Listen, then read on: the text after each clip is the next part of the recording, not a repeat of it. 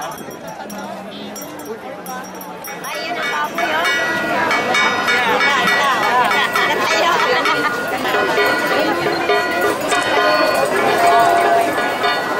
here. And we have, like I said, this is not the end. Let us not repeat EDSA 1 na after we got rid of Marcos, everybody went their own way and we're back to the same shit we're in right now.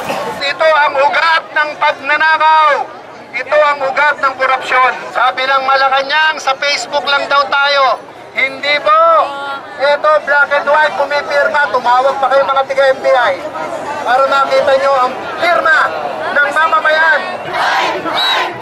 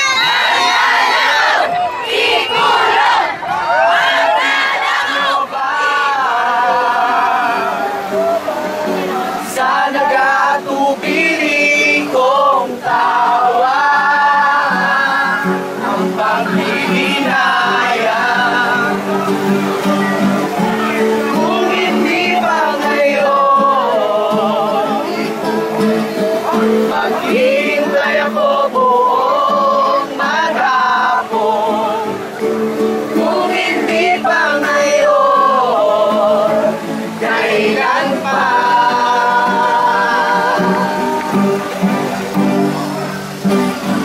Ang iyong bansa ay may galo. Huwag niyo kayaan na siya ay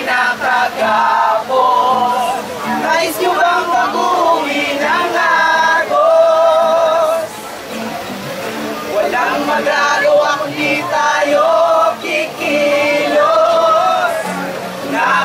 Nakita nyo ba